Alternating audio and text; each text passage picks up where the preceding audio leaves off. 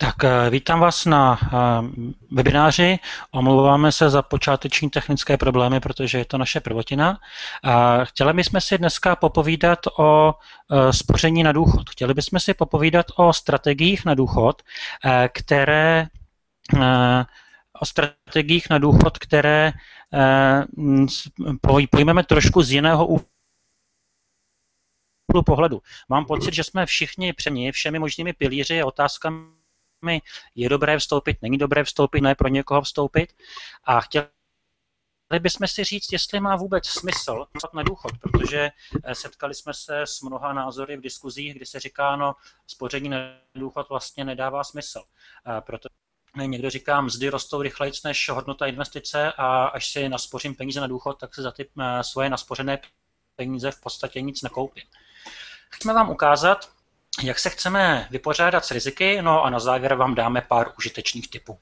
A protože bychom rádi, aby ten webinář byl nějaký interaktivní a abyste eh, měli možnost položit nám dotazy, abyste nám položili dotazy, které nám eh, prosím pěkně eh, pište pod video a my se na ně na konci webináře pokusíme odpovědět. Pojďme se nejdřív podívat na příjmy v důchodu. Jak Jaké příjmy v důchodu nás asi čiví věk? Já jsem pro ilustraci uvedl 35 a dnes máme nějaký... A ten příjem nám jednoho dne poklesne.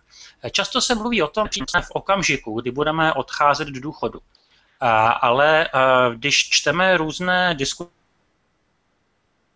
diskuze a komentáře, tak zjišťujeme, že mají problémy najít práci.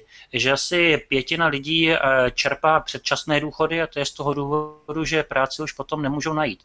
Takže možná, že nás čeká pokles příjmu i kousek před eh, odchodem. Náš příjem je takový nejistý a možná bude nižší než dneska, aspoň v reální síle. A jakmile odejdeme do důchodu, tak ten náš příjem ještě víc klesne. Ta zničky, které ukazují v grafu, tak tam dávám proto, protože eh, celé to plání má mnoho nejistot a mnoho proměných. Ale určitě se shodneme na tom, že eh, kdo je dneska v produktivním věku a vydělává, eh, tak dneska má těch peněz relativně nejvíc a, a postupem času těch peněz bude. A pokud ten pokles chceme vyrovnat, tak se můžeme spolehnout jenom na prostředky. Takže pokud chceme odvrátit nějakou hrozbu toho, že nám v důchodu, pokud chceme odvrátit eh, nějakou hrozbu chudoby v důchodu, udělat na naše vlastní síly, na naše vlastní peníze. Proč investovat na důchod? Investujeme právě pro to, že chceme snižovat riziko chudoby, toho, že bychom potřebovali peníze a najednou zjistíme, že peníze peníze nemáme. Proto, abychom byli bohatí. My ve finančních plánech investujeme proto, aby jsme odvrátili rizika.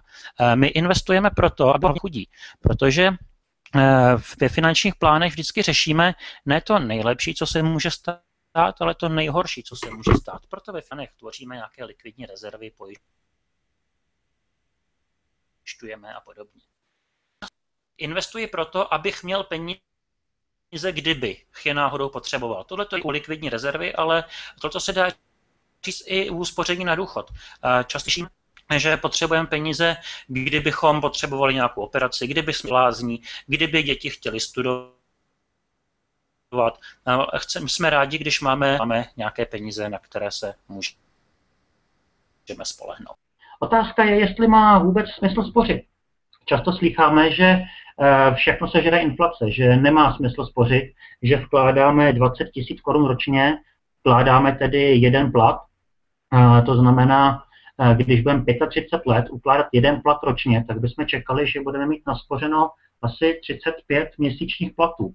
Ale autoři těchto článků dochází k číslu nesrovnatelně menšímu. Říkají, no když budete dávat 20 tisíc ročně stranou, tak naspoříte tolik a tolik peněz a ty peníze budou mít velmi malou kupní sílu. No a nebo se setkáváme s jinými články. A ty články eh, mají malinko jinou argumentaci, i když dochází k tomu samému závěru. A říkají, No, kdo od roku 95 vkládal peníze do penzijního připojištění a vkládal tam 400 korun měsíčně, tedy 5% ze své mzdy, tak dneska naspořil 155 tisíc korun, to je zhruba 8 platů po 18 letech. A tomu přijde taky poměrně málo a říká, no abych eh, po 18 letech, když jsem dával 5% ze mzdy, na naspořeno takhle málo, to spoření na důchod nemá žádný velký význam. Tyhle ty eh, čísla podle nás jsou špatně a, a, a otázka je, kde je chyba, kde autoři těchto těch článků dělali chybu v některých svých myšlenkách. Chyba je v tom, že 400 korun měsíčně už dneska není 5% zemzdy. Oni říkají, tehdy jsem dával 5% zemzdy a to bylo hrozně moc peněz, no ale jestliže dával pořád 400 korun, tak dneska už 400 korun není zdaleka 5% zemzdy, ale asi jenom 1,5%. A vklady se samozřejmě musí taky valorizovat. Jestliže někdo říká, dávám stranou 5% ze mzdy na začátku, tak by, tak jak mu roste mzda, měla i ta úložka postupně narůstat. A tím pádem bychom došli k trošku jiným číslům. Kdybychom pořád dávali 5% ze mzdy, eh, tak bychom eh, na začátku dávali 400 korun, ale po 18 letech, v roce 2012, bychom už dávali nějakých asi 1200 korun měsíčně stranou. No a tím pádem bychom neměli naspořeno jenom nějakých 155 tisíc, ale měli bychom naspořeno nějakých 270 tisíc. Vložili jsme asi 10 měsíčních mest, protože jsme spořili 5% ze mzdy po dobu 18 let, malinko víc než 18 let, a hodnota na konci je taky 10 měsíčních mest. To znamená, tolik, kolik jsme tam vložili, tak tolik jsme na konci, na konci získali. Vypadá to, že penzijní připojištění za 18 let udrželo hodnotu eh, naší, naší investice. No a pojďme se podívat, jestli se zhodnotí investice na důchod. Jakou hodnotu budou mít investice v důchodu? No, když eh, se ptáme, eh, jakou hodnotu budou mít v důchodu, a kolik peněz, kolik zboží si koupíme za svoje, za svoje investice, tak nás určitě nezajímá nominální zisk. To, že investice nominálně vydělá, je málo. Eh, my potřebujeme minimálně dosáhnout reálného zisku, ale on ani ten reálný zisk nestačí, protože jak rostou mzdy, tak může se nám stát, že dáváme kus výplaty stranou, no a po 20-30 eh, letech zjistíme, že tam máme naspořeno tolik peněz, co naše děti nebo naši vnuci vydělají možná za měsíc nebo za půl roku. Proto potřebujeme překonat růst mest, pojďme porovnat objem zhodnocení s růstem mest. Podívejme se, jestli zhodnocení bylo vyšší, než kolik narůstaly mzdy. Můžeme se podívat na krátkou historii v České republice. Jak už jsem mluvil o penzijních fondech, kdo si založil penzijní připojištění v roce 95 na začátku, tak do roku 2013 eh, dosáhl takového zhodnocení, které přesně odpovídá růstu mest, eh, zhodnocení, kdy jsme dali 10 výplat do fondu a po 18 letech jsme tam zase našli 10 výplat. Ovšem v České republice je krátká historie. Eh, mluvíme tady jenom o 18 letech a my přitom chceme spořit na 30 let. Proto se zkusme podívat někam do zahraničí. Pojďme se podívat, jak bychom dopadli někde v Americe, kdyby jsme v Americe pravidelně investovali po dobu 30 let 10% z příjmu, no a využívali bychom k tomu investici, která splňuje nějaké požadavky portfolia životního cyklu. To znamená, na začátku dáváme víc peněz do akcí, no a jak se nám přibližuje investiční horizont, tak e, snižujeme objem peněz v akcích. No a jak bychom dopadli, je vidět na tomto grafu. V tomto grafu vidíme, jak by se vyvíjela hodnota naší investice za posledních 30 let na ose Y máme eh, investici jako násobek ročního příjmu. To znamená, není to eh, v korunách, ale je to, kolik ročních platů eh, máme v našem portfoliu uložených. No a zelená čára, ta rovná, ta říká, kolik jsme my sami odložili. A vidíme, že rovná zelená čára končí na číslici 3, to znamená, odložili jsme si tři roční platy, no protože dáváme 10% z příjmu po dobu 30 let. No a hodnota naší investice není tři roční platy, ale devět ročních platů. No a pokud máme 9 ročních platů, tak to už není úplně zanedbatelná částka, která by nestála za řeč. Co udělal investor? Pravidelně investoval 10% z příjmu a tak, jak rostl jeho příjem, tak také zvyšoval svoje investice, no a pak dělal další rozumnou věc a to je držel se strategie životního cyklu. A co tím získal? No získal majetek ve výši 250 tisíc dolarů, což je 9 ročních příjmů a z těchto 9 ročních příjmů by si mohl dovolit čerpat doživotní rentu ve výši půl měsíčního příjmu. Když to řeknu na naše peníze, jestliže eh, příjem jeho by byl 20 tisíc čistého měsíčně, dával by 10% z příjmu stranou celý život, no a pak by si naspořil tolik peněz, aby mu to zajistilo rentu 10 tisíc měsíčně. To bylo za posledních 30 let. Pojďme se podívat ještě trošku do hlubší historie. Eh, často jsme zvyklí měřit výkon investic vůči inflaci. Vůči inflaci tam eh, dostáváme ten výsledek, jestli za naše odložené peníze si víc koupíme, než kolik jsme eh, se uskromnili. No a zkusme se podívat na porovnání investic s růstem mest. Tady dostaneme odpověď na otázku, jestli tu výplatu, kterou jsem odložil, tak jestli tam na konci taky dostanu výplatu, anebo víc, anebo dokonce míň. No a vidíme, že mzdy většinou rostou rychleji než inflace, akorát v posledním období, když měříme 30 leté, 30 leté horizonty, eh, tak vidíme, že v Americe eh, mzda moc růst inflace nepřekonávala a mzdy byly někde blízko eh, kolem inflace. No a co na to investice? Překonávají akciové výnosy růst mest, anebo dluhopisové investice překonávají růst mest? No a vidíme, že akciové investice, to je ta zubatá čára nahoře, eh, tak překonává růst mest a vždycky akciové investice v horizontu 30 let eh, překonaly růst mest. A co dluhopisy? No tam platí jak kdy. Někdy dluhopisy překonaly inflaci, eh, někdy mzdu, pardon, a někdy dluhopisy se mzdou prohrály. A tam, kde dluhopisy se mzdou prohrávají, tak to znamená, že jsme dosáhli výnosu třeba jenom 3% ročně, ale mzda rostla o 6% ročně. Stalo se nám, že jsme si odložili na 30 let jednu mzdu, no a za 30 let jsme zjistili, že ty peníze, které máme v naší investici, tak naše děti vydělají možná za půl měsíce nebo dokonce jenom, jenom za týden. Neinvestujeme v praxi ani do akciových investic, ani do dluhopisových investic, investujeme do nějakých smíšených investic, tak proto jsme se podívali, jak by dopadlo portfolio, které má v sobě 50% akcí a 50% dluhopisů. A zjišťujeme, že tohleto portfolio, výnos tohoto portfolia by překonal jak inflaci, tak by překonal růst mest. Má investice na důchod smysl? No, investovaná výplata se zhodnocuje. Dneska investujeme část mzdy, možná 5%, možná 10% ze mzdy, investujeme tady ty peníze dlouhodobě, možná na 20, 30, možná někdo ještě na delší dobu. A e, ty peníze, které jsme odložili, e, tak se zhodnocují rychleji, než e, kolik rostou mzdy. To znamená, odložíme jednu výplatu a za 30 let tam najdeme možná dvě, možná tři výplaty, podobně jako ten investor v Americe za posledních 30 let. Zhodnocení našich investic je vyšší než růst mest, takže po 30 letech tam najdeme víc, než kolik jsme vložili. Tohle to platí pro akciové investice, vždycky se jim to zatím povedlo.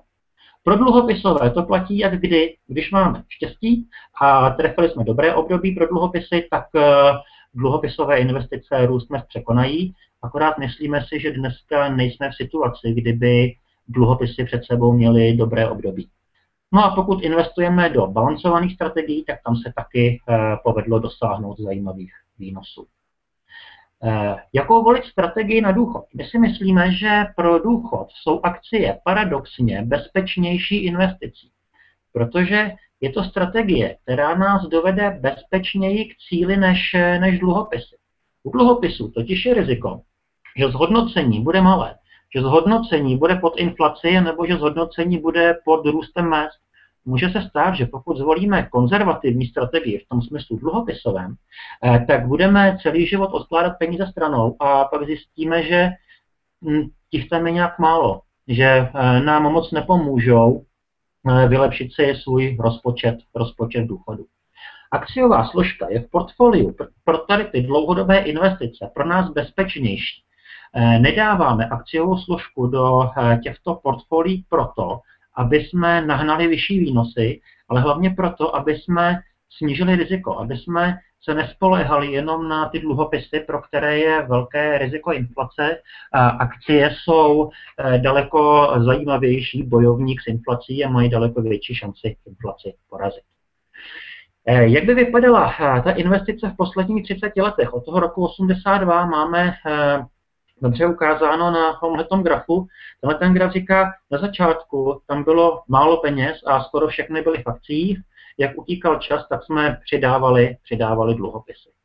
A jak jsme omezovali rizika u téhleté investice? No za prvé, investovali jsme pravidelně, za druhé, nespolehali jsme se ani jenom na dluhopisy, ani jenom na peněžní trh, ani jenom na akcie, možná jenom na začátku, no a volili jsme nějakou strategii životního cyklu.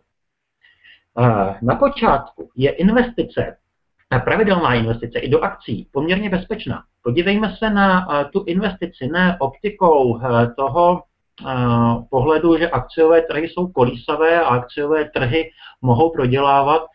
Nedívejme se na akciové trhy tou optikou, že japonský Nikkei včera prodělal 7% za jeden den a určitě Japonsko o tom byly titulky v novinách.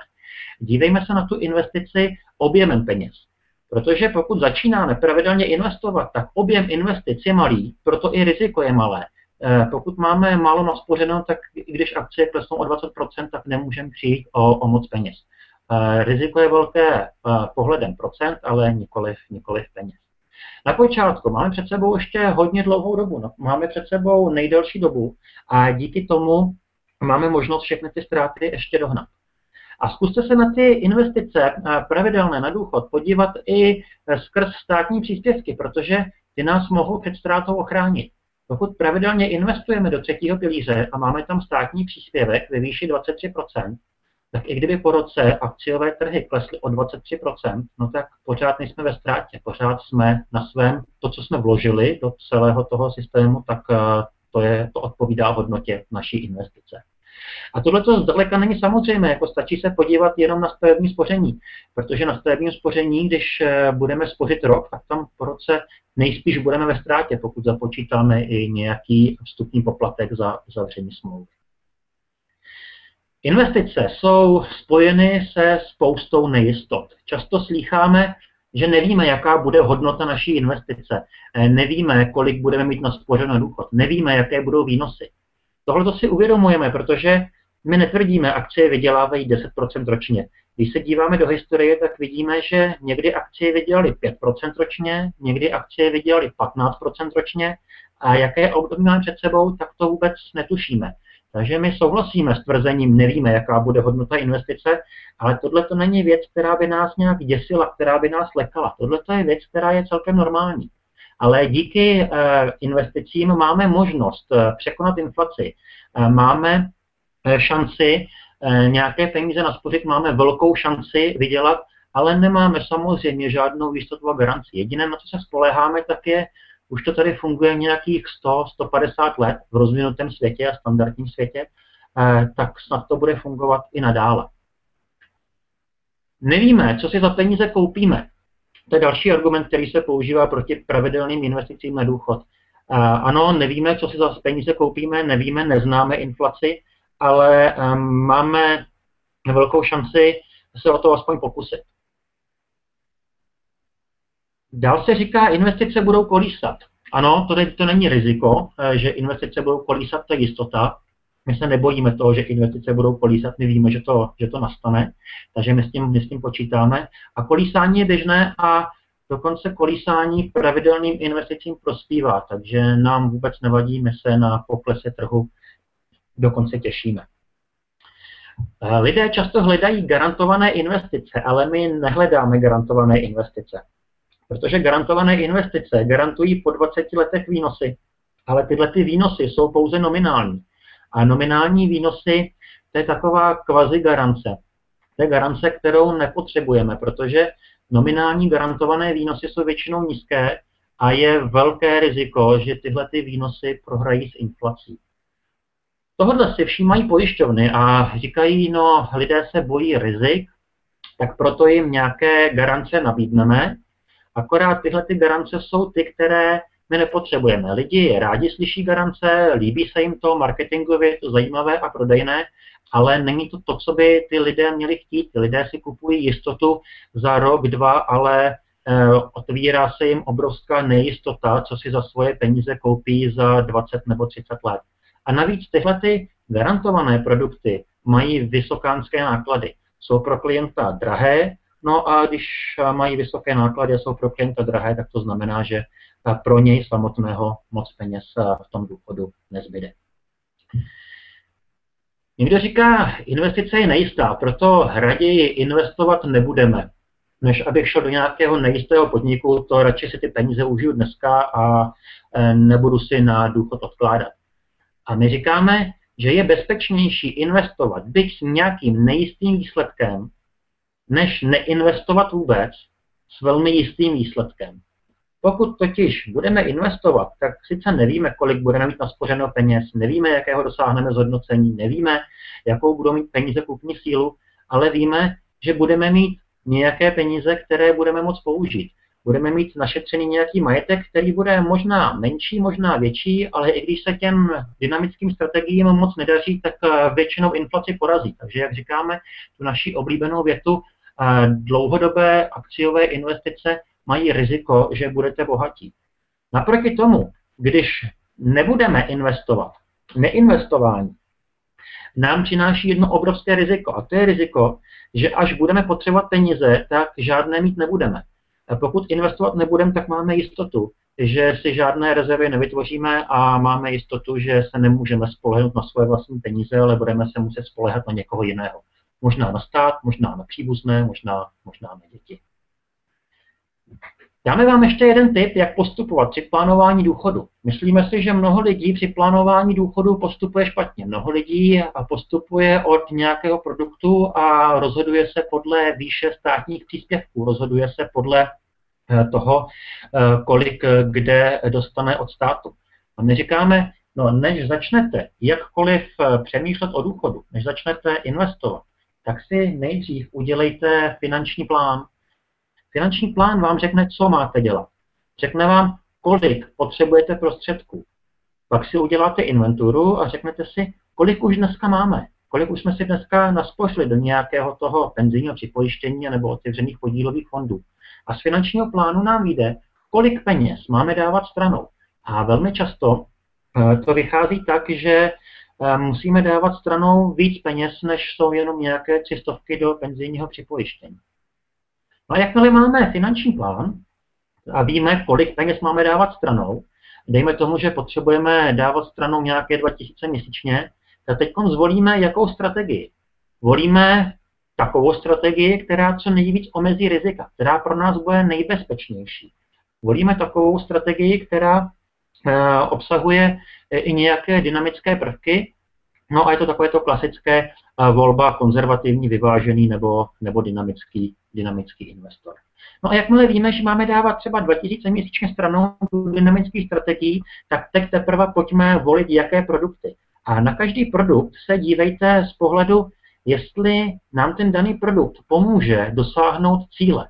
Jestli nám pomůže dosáhnout cíle lépe, rychleji, bezpečněji. Žádný produkt, který máte v portfoliu, není sám o sobě ani dobrý, ani špatný nemůžeme odpovědět na otázku, mám používat jenom akciové investice na důchod, nebo mám použít penzijní připojištění, nebo mám použít třetí pilíř. Vždycky se na tu strategii dívejme jako na celek a dívejme se na to, jestli ten produkt do té naší mozaiky těch finančních produktů zapadá a nebo nezapadá. No a na závěr vám zkusíme dát ještě jeden jednoduchý návod na plánování penze. Tak jednoduchý návod, který dokážete s klientem udělat s tuškou a s papírem jen tak mezi řečí, nebo možná skoro, skoro ve výtahu. Eh, použijte naše jednoduché a už skoro otřepané pravidlo, že na 5000 renty potřebujete zhruba 1 milion majetku. Takže pokud někdo potřebuje rentu eh, ve výši třeba 10 tisíc měsíčně, tak by měl uvažovat o tom, že bude potřebovat asi 2 miliony majetku. Když víme, kolik majetku potřebuje, tak se podívejme, co pro to máme udělat. Dejme tomu, že potřebuje eh, peníze za 25 let. Nejdřív se podíváme, co už pro to svoje řešení udělal. A jestliže má někde naspořených na penzijním připojištění a v otevřených podílových fondech například 300 tisíc, no tak tabulka nám řekne, že ze 100 tisíc za 25 let bude mít asi trojnásobek, takže z 300 tisíc bude mít asi tak 1 milion korun. No jestli chtěl 2 miliony, tak 1 milion už má na něj dobře zaděláno, protože si pravidelně investoval. No a druhou odpověď eh, dostaneme z, ze sloupečku pravidelné investice. Jestli potřebujeme naspořit asi milion korun další, no tak z, tisíc, z tisícovky uděláme za 25 let zhruba půl milionu. No tak jestli chceme milion, tak musíme dávat ne tisíc stranou, ale 2000 měsíčně stranou. No a když už víme, že budeme dávat 2000 měsíčně stranou po dobu 25 let, tak tahle tabulka nám řekne, jakou alokaci máme volit. No a vidíme, že bychom měli dávat drtivou většinu peněz do akcí a že bychom měli volit nějaké dynamické strategie a začít s pravidelnou investicí do akcí. Po pěti letech Až budeme mít něco naspořeno, tak z těch akcí malinko ubereme. Po dalších deseti letech, když už ten majetek začne, se začne pomalu hromadit, tak budeme postupně tu akciovou strategii omezovat. No a teď už máme prostor pro vaše dotazy a poprosím kolegy Karla Kořeného a Petra Pavláska, aby eh, se věnoval dotazům, které během toho mého povídání došly. Jo, uh, takže moc krát děkuju, uh, Petře, Eh, za, eh, za prezentaci. Já jsem se chtěl ještě jednou teda omluvit za ty eh, menší technické problémy, které jsme na začátku měli. Jak jsem říkal, testujeme novou platformu, takže mm, to tak většinou bývá, když člověk něco zkouší poprvé, že jsem tam něco úplně nešlape. Doufám, že ten zbytek prezentace jste slyšeli dobře. Ono taky závisí, mm, kvalita toho obrazu taky závisí na uh, kvalitě vašeho připojení. Nicméně uh, děláme záznam tohoto webináře a pokud se všechno podaří, tak uh, příští týden v úterý bychom jej měli poslat v rámci, v rámci pravidelného úterního typu, takže pokud jste neslyšeli nebo něco nešlo dobře vidět, tak ten záznam by měl být čistý a, a mm, všechny informace by tam měly být. Tak, co se týče dotazů, já jsem tady komunikoval s Karlem Kořeným, Mezitím, uh, zatím tady máme dva dotazy od pana Friedricha a uh, pana Majera. Dotazy jsou spíše teda na Petra Sirového. Uh, klidně píšte další dotazy. Um, první dotaz, který teda tady je, tak uh, dotaz pana Majera, jak je to s druhým pilířem a lidmi, co mají nárok na rentu, to znamená policisté, hasiči a tak dále. Ehm, to je dotaz teda spíše na Petra, akorát se koukám, že Petr Sirový tady uh, nám nějak zase vypadl, takže já ji zkusím, já ji zkusím přitočit. Mezitím se zeptám, jestli Karle, jestli uh, si můžeš říct slovo.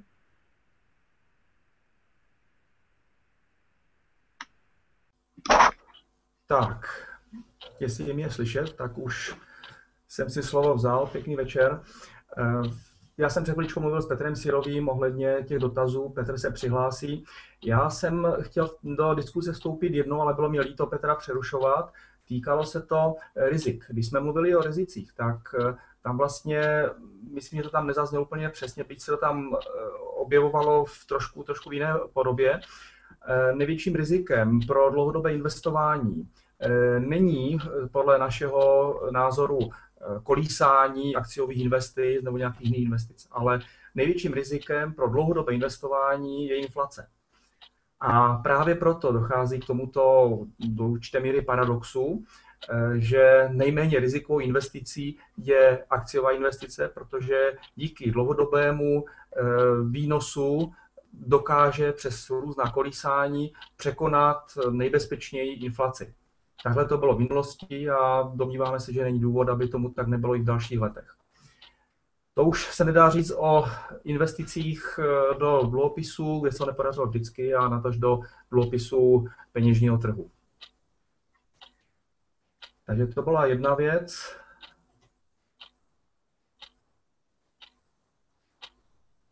Myslím, že Petr Sirový přihlášený. Vypadá to, že ano. Tak, eh, slyšíš mě, eh, Karle? Ano, slyším. Jo, dobře. Petr Sirový, bohužel spadlo spojení, ale nicméně mám ho tady eh, teď normálně improvizačně na telefonu, takže Petr může normálně povídat, povídat odpovídat do, do telefonu a odpovídat na vaše dotazy, takže určitě, určitě určitě odpoví. Takže Petře, eh, první dotaz, který tady byl od pana Petra Majera, eh, jak je to s druhým pilířem a lidmi, co mají nárok na rentu, to znamená policisté, hasiči a podobně? Tohle to je věc, kterou nevím, neznám, nestudoval jsem, takže nejsem, nejsem připraven. Ale vím, že o tom proběhly nějaké články na internetu v poslední době, takže myslím, že to prošlo na investujeme.cz, tak doporučuji, mrkněte se tam. Mhm. Dobře. Tak eh, zkusíme dotaz pana Friedricha. Mm, pan Miroslav Friedrich se ptá, jak je to u OSVČ, když si vydělá 1 milion korun, výdaje paušálem jsou 80% a započítává se mu na sociální pojištění 50%. Má smysl v tomto případě řešit druhý pilíř? Eh, myslím si, to záleží zase. Eh, druhý pilíř eh, Druhý pilíř nedá se říct jako dobrý, špatný, hodí se, nehodí se. Ale eh, pro osobeč musíte si přepočítat tu svoji situaci eh, na příjem zaměstnance a musíte počítat podle toho, kolik, kolik odvádíte. A situace je taková, že zaměstna, eh, že osobeč, který má vysoký fakturační příjem, tak je to srovnatelné se zaměstnancem, který má příjem nesrovnatelně nižší. Ale možná vás potěším, v KSP vyrábíme kalkulačku eh, pro OSVČ, už ji máme skoro vyrobenou, jenom čekáme, kdy ji eh, budeme moct zveřejnit na stránkách, až ji doladíme. Takže pokud budete chtít soukromně odpovědět, pozvěte se mi na mail, pošlu ne, ještě neoficiální kalkulačku a budete mít odpověď. Jakmile pošlete mail, tak řekněme zítra ráno. Mm-hmm. Dobře, takže Eh, děkuju, snad tak to stačilo. Eh, tak já si teda přihlásím... Jo, teď tam slyším ozvěnu. Eh, já se teda podívám ještě do komentářů na stránce, kde běží webinář, jestli se nám tady teda objevily nějaké další dotazy.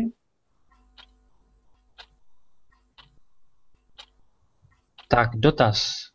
Jaké finální, eh, pan Petr David se ptá, jaké finální rozložení akcie, dluhopisy, nemovitosti, peněžní trh doporučujete v okamžiku vstupu do důchodu? V mém případě za 25 let, v mých 66 letech. A jak by mělo vypadat složení v 80. Eh, v 80 letech? Tak eh, ono záleží na trošku na tom, jestli potřebujete rentu do život, jestli potřebujete rentu úplně nekonečnou, anebo jenom do životní. Nekonečná znamená, že necháte majetek ještě pro děti a ty se z něj budou další generaci žít. Jinak doporučujeme v 66 letech portfolio, které má zhruba jednu třetinu peněz v akcích, zhruba třetinu nemovitosti a třetinu v, v dluhopisech. Tohle je pravidlo, které říkáme dlouhodobě, ale i když jsme dělali nějaké konkrétní přesné analýzy volatilit a bezpečnosti a rizika, eh, tak nám vychází, že eh, přesně podle těch dalších parametrů, je podle rizikového profilu akcí by mělo být 30 eh, až asi 45% a nemovitosti někde kolem pro jednoduchost třetina, třetina, třetina tě máme simulace. No a portfolio v 80 letech to záleží, jak dlouho tady ještě chcete být, jestli to je portfolio na rok nebo portfolio na 10 let. Jestliže mluvíme o nekonečné rentě, tak to, ta skladba portfolia by se nějak výrazně neměnila pokud by to byla renta jenom jako na doživotí a už jsem myslel, že máte před sebou kratší dobu, tak tam by mělo být víc peněz, tak už těch dluhopisech a z těch akcí ale nedokážu říct z hlavy kolik. Možná pocitově tak 20% v akcích, nemovitost, jestli máte na pronájem, to asi nebudete prodávat. No a ten zbytek. Možná bych to mohl trochu doplnit. Určitě, Karle. Vlastně proč mít akcie v 60, v 66, v 70 letech? To jsou peníze, pro to je investice, které budete potřebovat eh, ne v 70, ve 72, 75 letech, ale později. To znamená, že ty peníze pořád mají ještě dost času na to, aby vám eh, vydělali a aby byli ochráněni proti další inflaci eh, v, tohle, v, téhle, v té pozdější době. Takže mějte akcie do portfolia patří i v tomto věku, záleží jenom na to, na tom vlastně, jestli chcete tu rentu konečnou nebo nekonečnou. Jo. Mhm, dobře. Tak eh, snad tak to stačila odpověď. Pokud ne, tak klidně ještě píšte další dodatečné dotazy. Já se zeptám, jestli je Petr Sirový slyšet eh, ve webináři, anebo, anebo budeme muset pokračovat po telefonu. Halo, Petře, slyšíme se? Tak vypadá, že ještě úplně se nepodařilo navázat spojení, takže uh, Petře? Ano. Jo, takže zatím tě neslyšíme ve webináři, takže budeme pokračovat uh, takhle po telefonu. Slyšíte? Ne, ne, ne, neslyšíme. Halo, halo? Slyšíme se? Ne, Slyšíme se? Petře, jo, Petře, ano, už tě slyšíme. Tak, uh, je tady další dotaz. Paní Lucie Adamčíková se ptá, co když uh, zaměstnanec 2000 korun měsíčně nemá, musí zaplatit nájem a pak s bídou mu zůstane takhle na jídlo. Co má v takovém případě dělat? Podívejte se na ten úplně první graf v té mojí prezentaci, kdy jsem říkal, dneska máte nějaký příjem a podívejte se, o kolik vám ten příjem v důchodu klesne.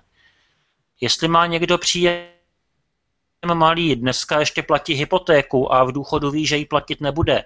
Eh, živí dvě malé děti a ví, že je v důchodu platit nebude, eh, živit nebude a má tam eh, velmi malý propad příjmu, tak si nemusí spořit tak velké částky na důchod. Ale pokud někdo ví, že eh, má vyšší, vyšší výdaje, eh, vydělává dneska 30 tisíc čistého a čeká ho důchod 8 a nechce tenhle ten propad si zažít, tak si bude spořit víc. Takže je to o tom za, za málo peněz, málo muziky, za více peněz, více muziky a musíte si, každý se musí rozhodnout, jestli se dneska uskromní, aby se měl v budoucnu líp, a, a nebo, nebo to nepotřebuje, a nebo toho není schopný. Takže neříkáme, že každý musí dávat 2000 měsíčně stranou, to byl jenom příklad. Někde úplně bude stačit pětistovka.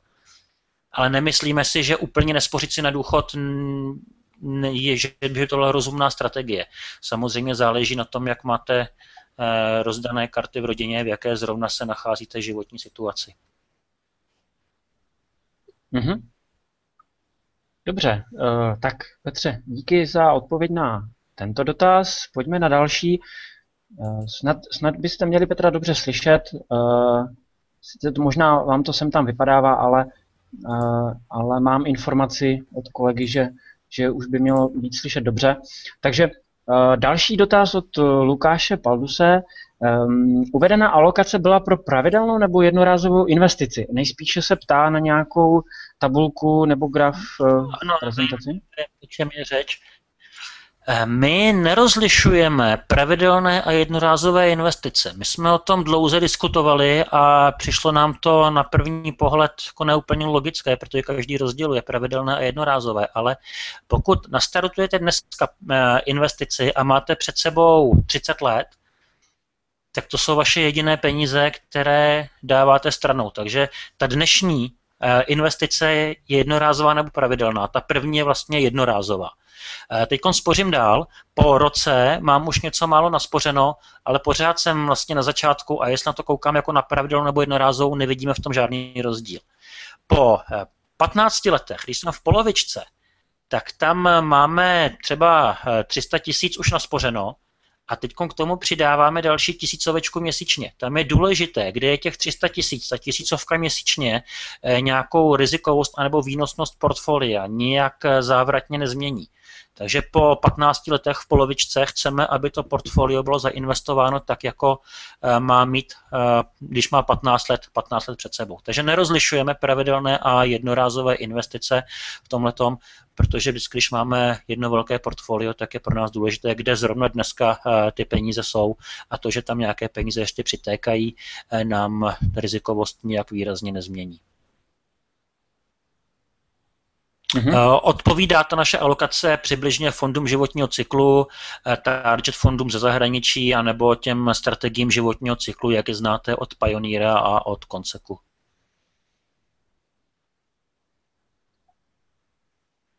Mm-hmm. Dobře, tak eh, děkuji Petře za odpověď. Paní Zdenka Matoušková se ptá, Eh, má ještě dotaz k OSVČ. Eh, není jí úplně jasné, jak to bude fungovat, když jsou pravidelné odvody a jednou za rok je doučtování. To znamená, buď se vrací a co pak s tím, nebo se naopak doplácí a z toho by se pak odvedlo do druhého pilíře? Nevím. Nevím, jak se, eh, jak se doplácí. Zkuste se podívat na nějaké diskuze na internetu, které jsou na Ministerstvu práce a sociálních věcí. Tam eh, jsou dotazy, odpovědi podobného typu, ale tyhle ty informace nenosím v hlavě. Nevím, jak se doúčtovává a jak se vrací. Bojím se, že se nevrací, ale nedokážu říct přesně. Mm-hmm. mm-hmm. Jasně. Tak, dobrá. Takže to byl dotaz uh, paní Matouškové. Procházím, procházím další, další dotazy. Pan Majer se ptá, jak se díváte na předplacené poplatky u investic až do důchodového věku? Nám se obecně nelíbí předplacené poplatky. Eh, protože si předplácím službu na příštích 20 nebo 30 let a nejsme si jistí, jestli tuhle tu službu využijeme, jestli ji budeme čerpat. Nejsme si jistí, jestli za 20-30 let budou eh, ty produkty, které máme, eh, pořád, pořád na špici. Když předplácíme poplatky, tak je u našich klientů předplácíme jenom na krátkou dobu, řekněme na 5 let, protože to je doba, kam jakž takž dokážeme dohlédnout a když se nám ty pravidelné investice nebudou z jakéhokoliv důvodu líbit, třeba přijdou ETFy nebo jakékoliv jiné investice, tak jsme schopni eh, tu investici změnit. Stejně jako si nepředplácíme službu u mobilního operátora anebo u bankovních účtů, nechceme si je předplácet ani u pravidelných investic. Mhm. Dobře, Pane Majere, snad takto stačilo, pokud, pokud ještě máte nějaké dotazy, tak určitě se ptejte. Tak uh, další dotaz od pana uh, Lukáše Palduse. Jak rozložit dluhopisové portfolio? Hmm, velmi krásný dotaz. Uh, jednoduchá odpověď, diverzifikovat. Ale jak? Um, když řešíme v současné době dluhopisy, tak zjišťujeme, že výnosy těch bezpečných jistých státních dluhopisů jsou velmi, velmi nízké a tak akorát pokrývají manažerské poplatky ve fondech. A, a Obecně doporučujeme rozdělit e, dluhopisy na takové ty jisté a ty rizikovější. Ty rizikovější jsou korporátní, maličko high dluhopisů nebo emerging markets dluhopisů a místo těch jistých dneska doporučujeme něco, co dává vyšší výnos než ty jisté dluhopisy. Jisté dluhopisy jenom pro představu, když se podíváme na výnos ANG český dluhopisový, tak má výnos do splatnosti 1,18%, manažerský poplatek si 1%, jestli se nepletu, nebo necelé 1%. Eh, takže tam ty výnosy jsou opravdu bídné. Eh, tak se tam snažíme dostat třeba stavební spoření, je pro nás jako dluhopisová složka protože je to jako dluhopisová investice. Eh, případně se tam snažíme dostat státní spořící dluhopisy, eh, které se nám docela relativně líbí při té dluhopisové bídě, tak jsou ty inflačně chráněné dluhopisy.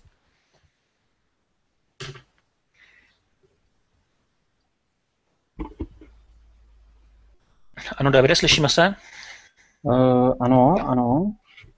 Tak uh, já teda Vidím Aha. tady dotaz, jakým způsobem se změní modely po započtení poplatků, které platím otevřeným podílovým fondům.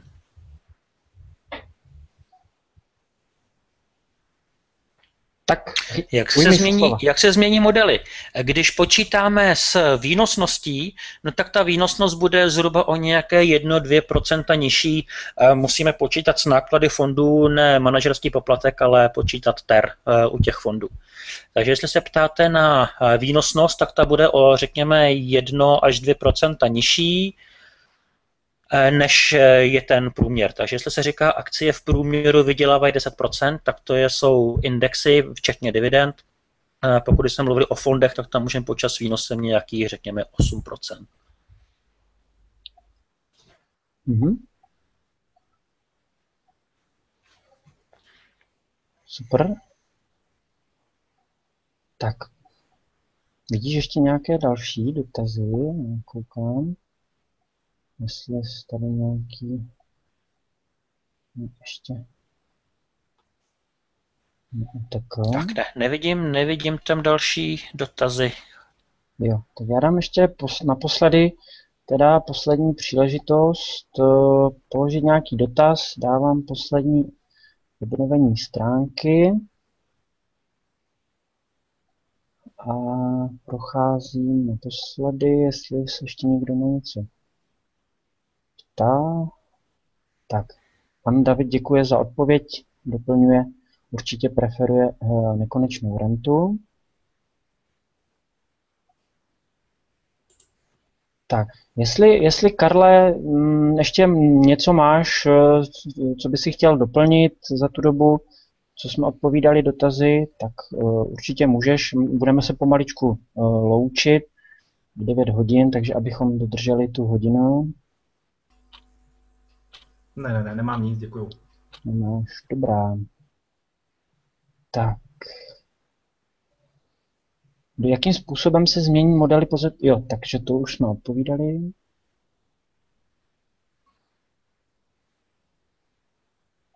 Popisové. Tak, takže jsem na konci a dotaz už tady další nevidím. Dobrá. Tak jo. Takže to je všechno. Tak Petře, jestli ještě jsi vzal uh, slovo nakonec. No, jenom eh, bych chtěl asi vám popřát, ať přemýšlíte nad problémem ne zavalení druhým pilířem, kterým budeme teď bombardováni eh, ze všech možných stran, ale abyste kvůli druhému pilíři nepřehlíželi věci, které jsou nestrovnatelně důležitější. Eh, třeba mám pocit, že se teď neřeší ve třetím pilíři, kam napadalo hodně lidí koncem loňského roku, tak jakou si mají oni zvolit strategii. Rozhodnutí, jestli budu v té či oné strategii, je důležitější než druhý pilíř eh, tak anebo tak. Mám pocit, že hodně lidí přemýšlí pořád o důchodu ano, já mám to penzijní připojištění a myslí si, že jim to stačí. Podívejte se na to, jestli jim to bude stačit. Možná mají pravdu, ale máme zkušenosti, že se velmi často pletou. Takže důchod řešte, ale ne jenom pilíř 1, 2, 3, než kvůli 4, ale eh, dívejte se na pilíře eh, s trošku s nadhledem. Mm-hmm. Jo. Já bych ještě nakonec doplnil, že mnohem více informací na toto téma, jak se zajistit na důchod, ale nejen na toto téma, ale uh, celkově, uh, jak se starat do peníze, um, ať už se jedná o oblast pojistek, dobrých, špatných dluhů, investic a tak dále, tak se dozvíte v našem dvoudenním kurzu, jak bezpečně zvětšovat majetek a ochránit své úspory. Vlastně na eh, těchto stránkách eh, běžel dnešní webinář eh, na stránkách tohoto kurzu, takže určitě doporučujeme, mrkněte na www.jakzvětšovatmajetek.cz. Takže já se s váma rozloučím za všechny, za kolegy a děkuji za účast a snad pro vás byl webinář přínosný, i když nám to trošičku drhlo. Tak jo, tak moc krát děkuju, a loučím se s váma. Petře, ještě jednou díky moc za prezentaci a přeju hezký zbytek večera. Rádo se stalo a těším se, že se s vámi zase někde, někde, někde potkáme. Mhm, tak jo, díky, mějte se hezky všichni, naschle.